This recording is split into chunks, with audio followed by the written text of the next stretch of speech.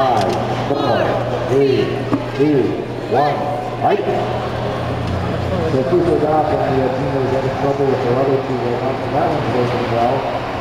They have they have always aggressive. The Bees are going to be a little slow getting into this up. And while Cooper Dock play this thing very quickly, it's not driving anywhere. So it's good.